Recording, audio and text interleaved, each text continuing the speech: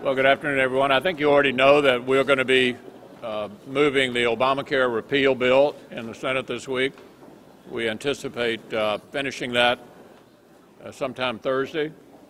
It's important, I think, for the American people to understand that Republicans still stand strong and united against the Obamacare legislation.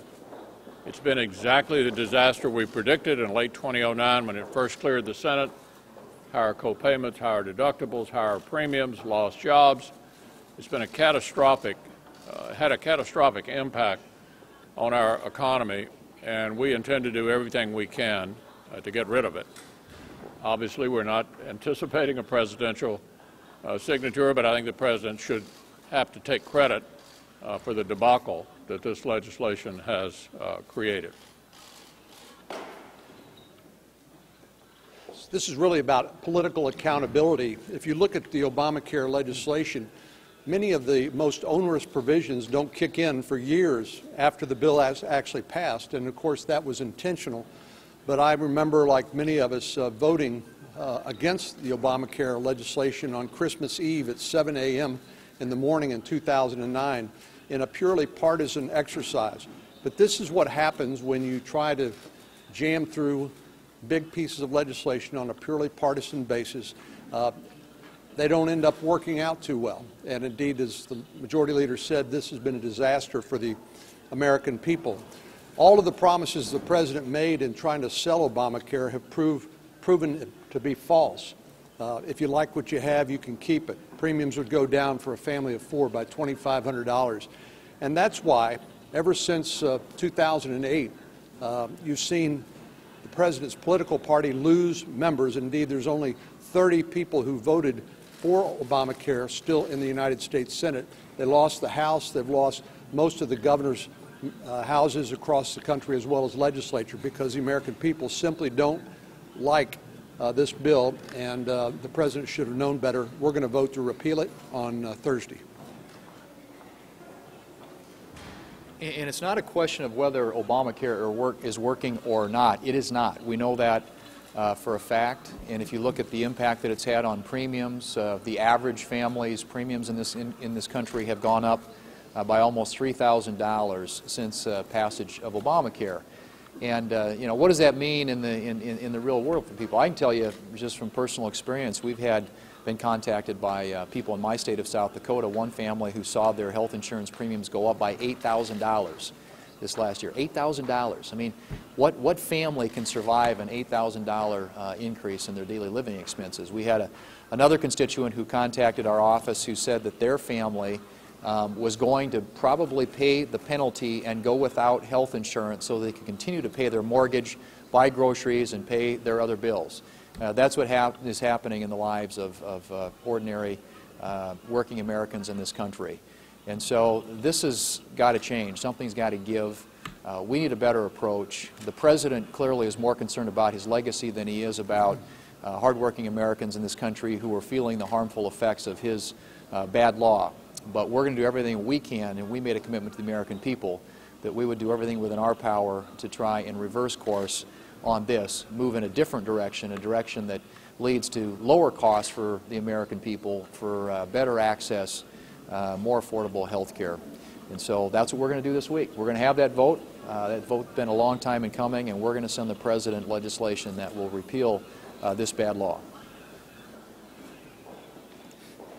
Well, we are going to vote this week to repeal the health care law. The wheels clearly have come off the law. You're seeing it right now with the costs that are up, co-pays that are up, and so many co-ops have failed. You know, to, to help people that don't have insurance, the president should not have had to hurt so many people who already had insurance.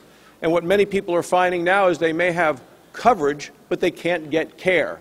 The Affordable Care Act is very far from actually being affordable.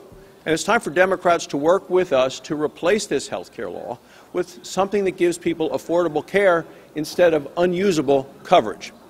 Now, on another matter, the President today had a press conference in Paris. He talked about ISIS. You know, he's been talking about ISIS being contained. I was in Afghanistan over Thanksgiving. I will tell you, ISIS is not contained. ISIS is expanding. ISIS has jumped the fence. They're sending out franchises around the world and now have a significant presence in Afghanistan.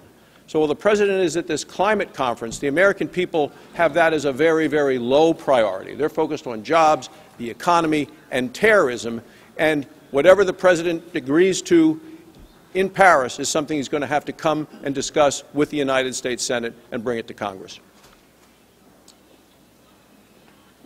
On, on Obamacare, it hasn't been too many weeks ago that the administration was saying that there'd be 20 million people covered through the individual uh, policies options under Obamacare by the end of next year. Uh, now the Secretary of Health and Human Services is saying, well, really 10 million, 4 million less than we had last year is a more realistic goal for this year. Now, if this was working, why would that be the case?